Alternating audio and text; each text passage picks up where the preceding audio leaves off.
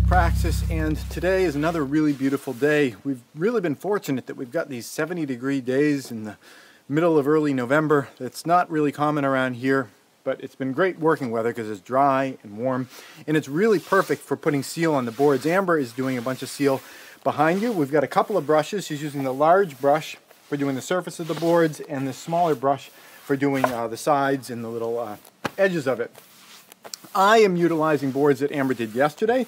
There's a couple piles over here. The ones to the left is the uh, first pass boards that Amber's doing today, and the scattered ones on the right are the ones I'm picking out of to finish up this. If you look over to your right, there is uh, our house. there, uh, this morning I uh, got going on doing all the foam work on this wall uh, over here, the, uh, the kind of the northern greenhouse wall. Uh, it didn't have any foam on it uh, in, in terms of actually being secured to the house this morning, so I uh, was doing all that from scratch. I placed a few pieces in, uh, but uh, you know I didn't actually have any strapping on it or anything. So I did all that this morning, and then I jumped right onto uh, doing more wall boards because the fact that I got the strapping on there unlocked my ability to continue this across here. I'm just about to cut another board here, and um, as I'm doing these, uh, I've got a little uh, piece that matches the uh, uh slope of the roof over there. It's a 612 pitch roof. Uh, and I put that up at the top here and make my little angle. And I've taken the measurement over there, I think it was 66 and one quarter inches down to here. And now all I do is uh, make the two cuts.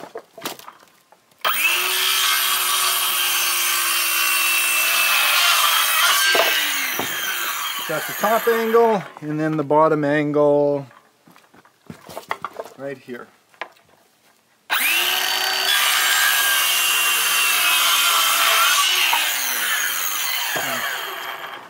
The only other thing that I do to it before I put it up is uh, just on the very bottom I take a small brush when it's available or if Amber's using it I kind of make do with the big brush and I just put some seal right on the bottom. This is the area that's going to get damp. It'll be sort of the dripping edge here, and I don't mind if I go onto the back there a little bit, because the water can kind of go around to the back. Just gonna sneak over here. Right, there you go.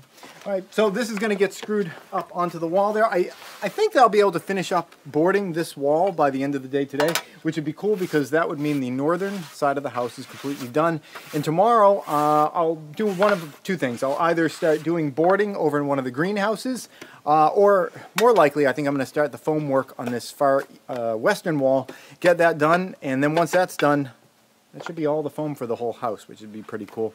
Last time I did the, uh, this wall over on the uh, corresponding side, it took one day, so I think I could nail that out in one day as well. That's it. Thanks for watching.